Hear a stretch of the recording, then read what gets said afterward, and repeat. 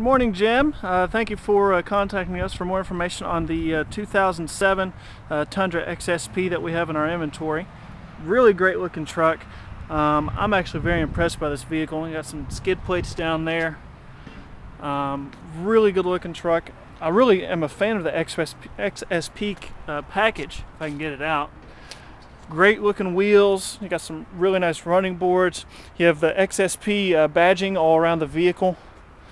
Um, does have a tow down there. As you can see in the back, it does have a, a uh, truck bed. Now let's go ahead and take a look on the inside real quick, if I can unlock it.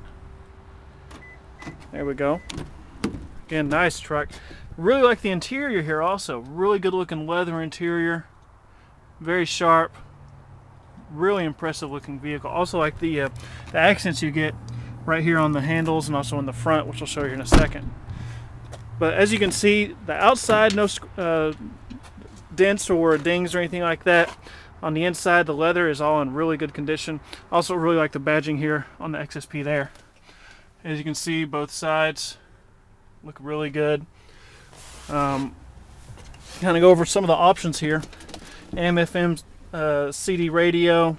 Uh, obviously, it is four-wheel drive. Really good looking truck. Um, let me get the current mileage on it. Again, if I can find the keys, I put them in a pocket and lost them. All right, so let's see here.